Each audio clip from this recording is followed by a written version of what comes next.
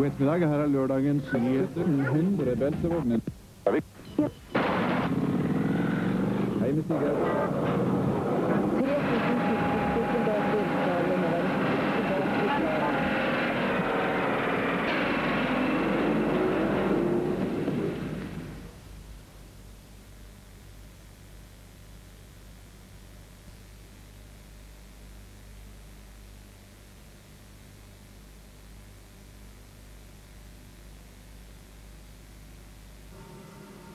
Velkommen til et nytt kulturmagasin.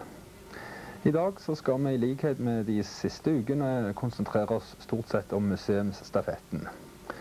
Søndag 17. mars da er det aktiviteter på, på Sjøfartsmuseet i Stavanger. Men det er Oljemuseet som eh, har et arrangement som heter Oljemuseet nye tider i Stavanger havn. Det starter klokka 13 på Stavanger sjøfartsmuseum. Vi var nede sist de hadde aktivitetsdag på Sjøfartsmuseet.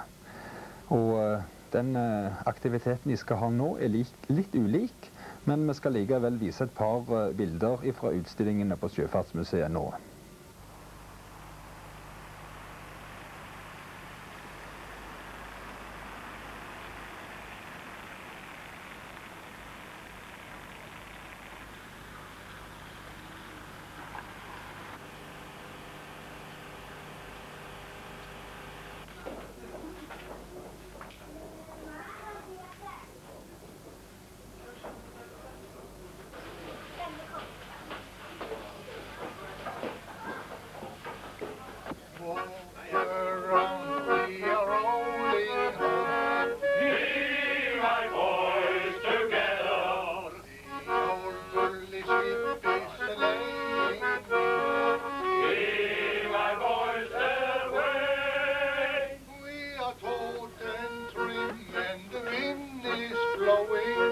Santa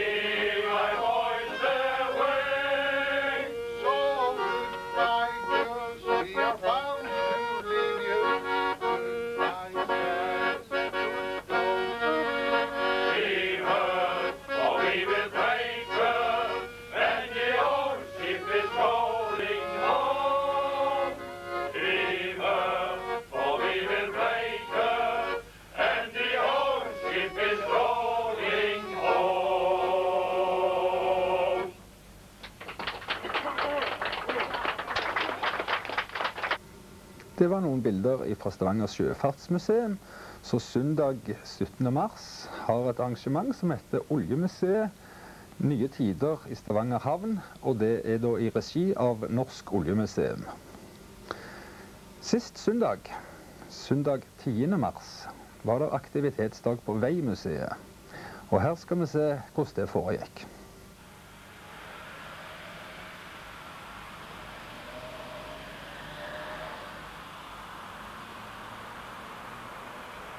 Velkommen til eh, Veimuseet hos Statens vegvesen i Rogaland.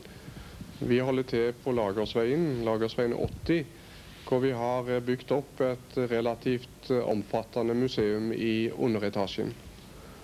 I dag er det såkalt museumsstafett i Rogaland. Det er altså et arrangement som går fra det ene museet til det andre. Og denne søndagen så er det Veimuseet som har spesielle tilbud til publikum. Vi eh, har museet vårt åpent hver søndag mellom 12 og 16, og eh, ellers på kvelder etter avtale, slik at en alltid er velkommen i grupper eller alene hvis en vil besøke museet vårt. Når det gjelder museet her inne, så eh, har vi en samling av utstyr som er knytta til ingeniøren sitt arbeid. Det er det første en møter når en kommer inn i museet. Det er landmålingsutstyr og eh, tegningsutstyr og slike ting som ingeniøren hadde bruk for. Vi har lagd et lite kontor som viser hvordan han eh, hadde det, og hvordan han jobba. Går en videre inn i museet, så får en en eh, stor avdeling når det gjelder bruer og brubygging. Vi har via det litt ekstra oppmerksomhet pga. at vi driver nokså omfattende undersøkelsesarbeid, forskningsarbeid knytta til bruer og brubygging her ved museet. Og eh, Der kan en få opplyst både når de ulike konstruksjoner kom til fylket vårt, og eh, en kan finne eksempler på hvor eh, en skal ut i terrenget og finne det hvis en vil se det innen natura. Når en er ferdig med bruavdelingen, så kommer en inn i en avdeling som bærer preg av bygging av vei, altså anleggsmessig arbeid. En kan gå inn i smia og se hvordan smeden som lagde og kveste verktøy hadde det. Og en kan se hvordan den som kilte og forma stein til å bygge bruer eller stikkrenner, uh, anla arbeidet sitt. Eller en kan se på transportutstyr eller annet som forefinnes der.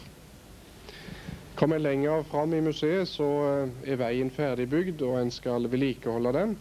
Og en finner da ulikt utstyr, både når det gjelder høvling av grusvei, skjæring av kant, eh, brøyting av snø osv. Og en finner en del materiell knytta til skilting og trafikksikkerhet. Eh, Lengst inne i museet så driver vi og bygger opp en uh, avdeling som gjelder uh, det som gikk på veien, altså den kjøretøyhistoriske delen. Der skal vi presentere alt fra primitive drog og sleder for hest, fram til mer moderne biler og busser. Noe er på plass allerede, mer vil det komme utover våren, slik at vi i løpet av en måned eller to skal ha et nokså omfattende, en nokså omfattende presentasjon òg av den kjøretøyhistoriske sida. Og inni dette så vil òg Biltilsynet sin virksomhet få plass. Det er litt om hva som en kan se når en går her. Vil en gå dypere inn i det, så har vi òg et ganske omfattende arkiv med gamle dokument, og ikke minst en stor eh, fotosamling. Eh, svært mye gode foto fra århundreskiftet som viser både brukonstruksjoner, veianlegg, maskiner og sosiale forhold, slik som en kunne ha det som anleggsarbeider eller vedlikeholdsarbeider ute. Og eh, Skolefolk og andre som er interessert i å studere dette, de er velkomne til det hvis de gjør en avtale med oss på forhånd. Det som er samla her på Lagersveien, er likevel bare en liten del av det veihistoriske kulturminnene som vi har. For svært mye av det vi har, det eksisterer utenfor disse lokalene. Det eksisterer i form av eh, bruer og veier som en, kan, som en har tatt vare på ute, og som en kan se langs veiene. Eh, det er fine steinvellbruer, det er trekonstruksjoner, det er gamle anleggssmier. Og det er gamle veier som en har eh, restaurert og kan kjøre med hest og kjerre, eller bruke som gang- sykkelvei for turister i dag. Og vi ønsker for så vidt at uh, folk tar i bruk disse gamle kulturminnene til turveier, til rasteplasser, til rekreasjon i det hele tatt. På den måten kan de òg hjelpe oss å ta vare på det. Det som jeg har spesielt lyst til å minne om, er alle de små Eh, beskjedne, litt eh, ubetydelige kulturminner som finnes. Jeg tenker da på hestedrikkekarene som var satt opp langs de gamle ferdselsveiene slik at hesten skulle få drikke. Jeg tenker på de gamle rodesteinene som anga hvilke gard som hadde plikt til å vedlikeholde veien. Jeg tenker på den gamle gråsteinsmuren som eh, slutta seg rundt ei smie, der eh, smeden um, lagde og vedlikeholdt verktøy. Og jeg tenker på litt finere kongemonogram som er hogd inn i fjellveggen på sida av veien. Når vi kjører forbi 80 km i timen, så legger vi kanskje ikke merke til dette. Men det er små perler hvis en gir seg tid til å stoppe og beundre dem. Og det vil jeg oppfordre dere til. Ta kontakt med oss, så skal vi fortelle deg litt mer om hvor du finner de, og gjerne gi deg turforslag. Velkommen til Veimuseet.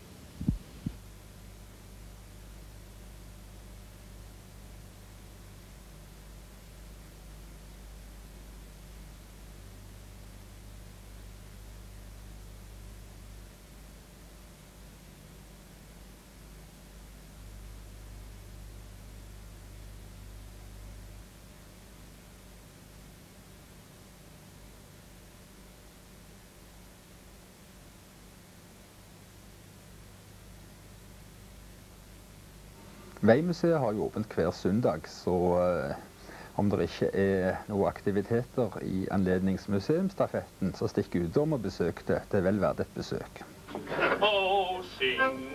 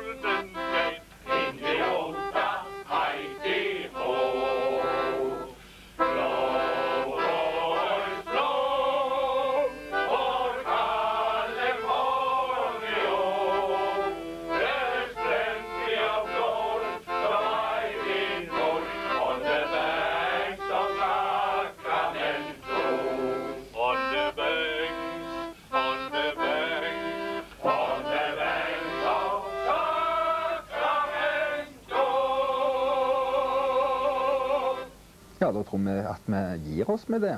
Som sagt, ikke noe billedkunst i dette programmet heller. Men eh, følg med. Det kommer tilbake. Det kommer tilbake. Eh, søndag 17. mars, da er det som sagt museumsstafett igjen. Det er da Stavanger sjøfartsmuseum som klokken 13 har et arrangement som heter Oljemuseet nye tider i Stavanger havn. Og det er i regi av Oljemuseet, men på Sjøfartsmuseet. Og klokka 13 er det kammerkonsert på Ledål. Da snakkes vi om ei uke. Ha det bra så lenge.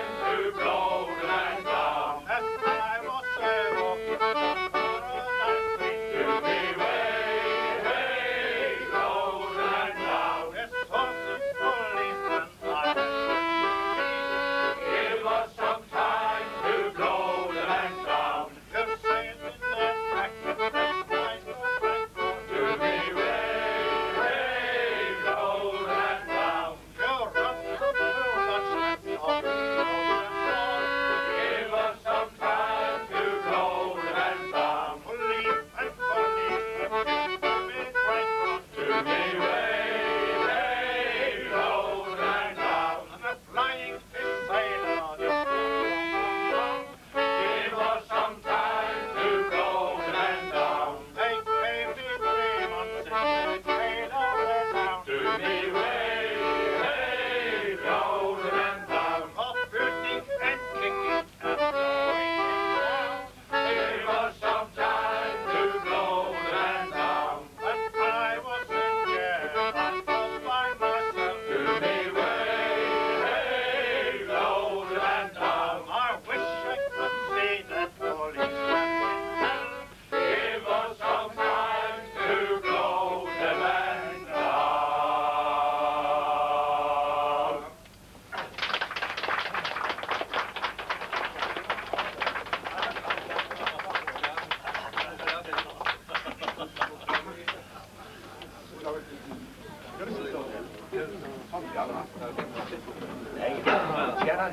en